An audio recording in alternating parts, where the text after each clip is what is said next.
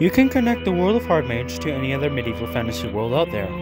But one thing that makes this world different is the steam technology developed in the world. Before we talk about the world itself, we have to understand the foundations first. The solar system that holds the world of Hardmage is a 11 planet system. Each of the planets and the sun correlate to one of the 12 magic guardians of the world. Each of these guardians watch over the world and protect magic as a whole. The people in the world of Hardmage only know that there are a total of 8 planets.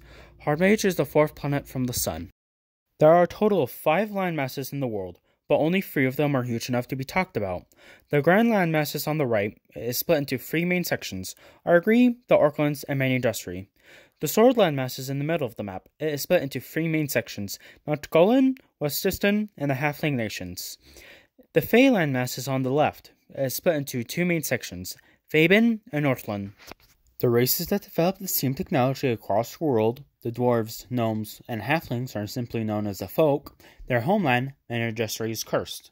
The curse of the land brings up undead. These undead are harder to kill than the normal undead that necromancers make. As a result, only one third of the land is used and protected by the folk. The remaining two thirds of Manudustry now belong to the undead, and calls forth adventurers to the land. Some say that the curse is caused by their use of their technology.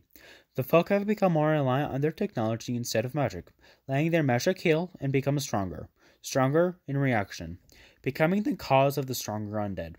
Others say that the guardians of magic cursed the land to that the other civilizations across the world become more industrialized and powerful, saying that they would have conquered the world if the land wasn't cursed. On the Grand Landmass, but north of Manudustry is a place called Argree. Argree is split between the east and the west of the Blood River. A simplification of the land is the religions, ideals, and traditions of the land as presented.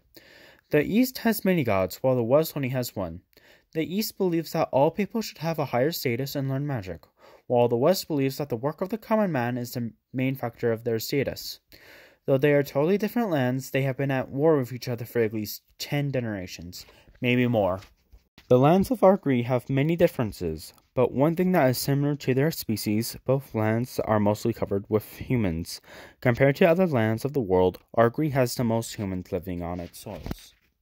On the Grand Landmass and in between Argree and Manudustry is a place known as the Orclands. We don't know a lot about the Orclands, but we do know, however, is that the Orclands are covered in monstrous races across the whole land. All these races at least own one territory, but the amount is dependent on if they can keep it from the orcs. Like what the name says, most of the Orclands is owned by the orcs. If the races can't keep their territory, all those people just became special employees to the orcs. West of the Grand Landmass and past the Warondy Sea is the Sword Landmass. The Sword Landmass is split between three different parts Mount Gaten, Westistan, and the Halflands. Mount Gaten is a land full of mountains and cold tundras. Mount Gaten is home to the Goliath and a special type of plant named the Starflower. The Halflands is split between three different areas Thorkol, Halidon, and Beheden. These lands are mostly covered by the Halfling race. Though many dwarves and refugees from Manudustry are coming here to live a better life free from the land's curse. Westistan is a land full of different nations that are often at each other's throats every other century. Recently, the nation of Arsaisa had its queen murdered and is in a hostile takeover. Between the Sword Landmass and the Grand Landmass is a grand sea named after the island nation in the middle of that very sea. The Warondy Sea is the sea between the two landmasses. In the middle of the Warondy Sea is an island nation named the Isles of Warondy. The Isles of Warondy are full of spellcasters, spices, trade, and high storms. It is said that the storms themselves repair the weave of magic but at a deadly cost. The storms are powerful and cause massive amount of damage to the isles. Luckily they only form between every 5 to 10 years. Recently a high storm has formed over the isles and stayed there. The storm is named Storm Fianna, the Forever Storm. Storm Fianna is named the Forever Storm since it appeared about 12 years ago and has not moved or disappeared since. The nobility of the Isles are spellcasters basically making a magicracy. Most of the population of the Isles are sailors. Many of the fa- families live on the Isles, making them able to visit their families while still working. Since many of them are sailors, it is a good guess that some of them are a part of the Isles Navy. The Navy of the Isles are the trading fleets throughout the Warondy Sea. On the opposite side of the world, there is a landmass full of Fey creatures. There are two main sides to the land, each split by the Fey Mountains. The north of the mountains is the Fey that decide to not follow their god's rules, but their belief that they are better. They can choose their future, not their gods. The Fae from the south, meanwhile, live a life following their gods. They help nature and nature helps them. Even their grand cities follow this ideal. Even the south is covered in trees, showing that they are caring for the land. This landmass is named after the Fae that covered the land, for the land is named Faben. South of Faben is the land of the undead. These undead have formed societies all across the land. Liches special for the land itself and rule with an iron fist. The land itself has no trees, but rather stones and grasses, so all buildings have been built out of rocks and a green paste made out of the grass. There are some sentient living creatures on the land. They are few and only live in hunter gatherer type groups. Some undead societies have captured some of these sentient creatures and raised them up like livestock. Sometimes, when a sentient creature shows prowess over magic, they are transported to a ruler, often a lich, and raised to be a wizard. They often transform themselves into liches later. Sailors call this land Deat, short for death. Many sailors created stories and told tales explaining why they don't go there. On the south side of the planet is a landmass covered in giants and a race that looks like dragons. This landmass is Galcolden, and not many people have been to this land, other than the natives. Thanks to this fact, many mysteries are still a part of the area's lore.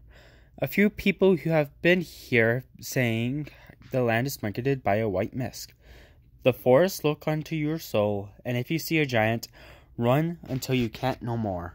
The history of the world is a bit complex, but it can be easily be split between five different eras and an intermediate period in between each era. Each intermediate period is known as a calamity, a period of time when the whole world has to face off against one or multiple enemies that brings a new age to the world. Everything else is just layered on these eras and calamities, forming a complex history throughout the world. The first era is known as the Founding Era. This is the era when the first sentient creatures arose in the world. Out of the many, many races in the world today, only four have started the world. These races are the Goliaths, humans, elves, and halflings. All these races knew the basic techniques of the Stone Age tools and buildings at the start. Some of them even advanced to the Bronze Age before the first era calamity came into effect. All of the languages of the world came from four races that started this era. The second era is known as the Age of Heroes. Many of our modern day myths of heroes came from this age. It is believed that these heroes were real people at some point that got changed to be in myth. Many of these heroes of this era brought light into the world, but others brought darkness. One of these dark heroes doesn't compare to the others. A mage who is believed to be the first necromancer created the orcs and other monstrosity, monstrous races in the Orclands. The creation of the monstrous races brought forth the Second Era calamity. The Third Era of the world changed people's view of magic. Once people were willing to learn, but now, since the calamity of the Second Era, people's view have changed. Arcane magic almost ceased to a complete and utter stop. Divine magic, on the other hand, was still used, even though the locals still feared it. The possibility of a mage growing powerful and changing a region or corrupting themselves scared everyone. It is only when the Third Era calamity happened is when people's view of magic started to change. Magic could help them survive. It could help them live. The fourth era is known as the Knowledge Era. People all across the world start to gather information about everything. And when people start to gather information, science is about to be discovered. Magic got viewed in the same way. A new profession arose in this age, one known as the Mageologist. One area of the world, Manudustry, brought forth technology the world hasn't seen yet. They called this technology flamed water, but we would know this technology as steam powered technology. The fifth era uh, is the era that the world is in now. Some are trying to name this era the Industrial Era, the Era of Wonders, and many, many more. It is still too early to name this era since we are only in 200 years of history compared to the other eras with thousands of years of history. Some say that we are not in the fifth era, but rather we are in the fourth era calamity. Many arguments have been made about this. One of them supporting this is that we are in the fifth era because of the Warondy trade war that started this era. Others say it didn't happen to the whole world. Even though the world of Hardmage is one eighth larger than Earth, it is still troubled by many problems. The Manudstrian curse is only getting stronger with each day, and a non-focused person is conquering the nation. The orcs and the monstrous races still linger from the time they were created and the nation of Ursaza had their queen recently murdered. Hey, since you watched the complete very end of this video, make sure you like, subscribe, and hit that bell icon. And I hope you have a nice, excellent day or wonderful night whenever you are watching this video. Good night.